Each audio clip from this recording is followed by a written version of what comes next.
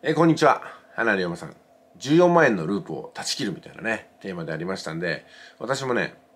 手取り14万円を立ちどころにね足し切って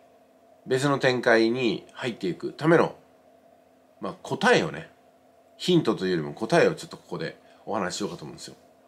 それはですね手取り14万の方はもうすぐにですね手取り14万の暮らしを大公開してみるってことじゃないかなと思うんですよ。例えばこうです。手取り14万の給与明細。ね。こちらの方を公開して内訳をこうね解説していくと。でなんで手取り14万なのか。社会保険はいくらなのか。総支給額はいくらなのか。そしてどんな業種職業肩書きそういったものにいるのか。なんでその仕事に就いたのか。こういったことを話すだけでね第1話は結構長くなると思うんですよ。えそして実際に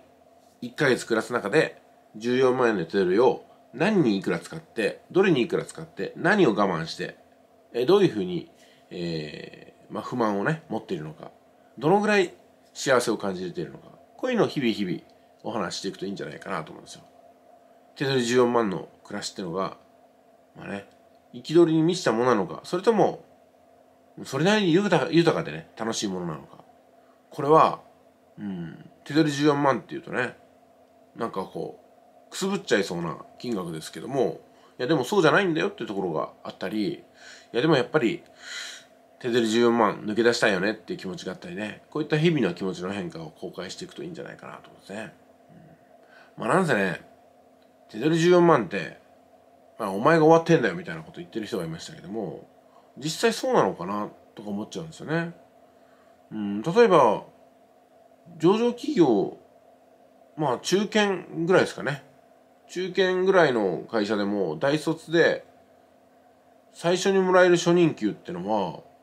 15万円ぐらいじゃないですかね。15万16万。まあ14万の時もあるかもしれませんけどもだからそんなに変わんないんですよ。新入社員のもらえる給料っていうのは。大体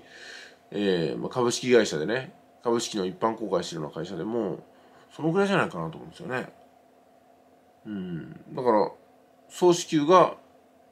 19万から21万ぐらい？20万前後の会社っていうのは手取りがそのぐらいになるんじゃないかなと計算しますけどね、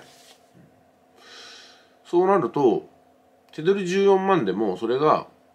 えー、今14万でこれからどっちかへ向かうのかそれともいろいろあって14万に収束しちゃったのか。要するにあの14万を頂いてる仕事に対するキャリアですよね。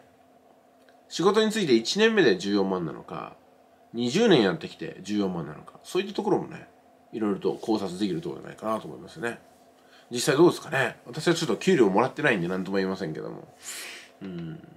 実際にねそれをやっていいよって人がいたらいいなと思いますねなんか心当たりないでしょうかそういうところに。えー、それでは今回はね、そんな感じです。この動画を見た方で14万ですっていう人は、ちょっとね、声を上げていただいたら助かります。では、いってらっしゃい。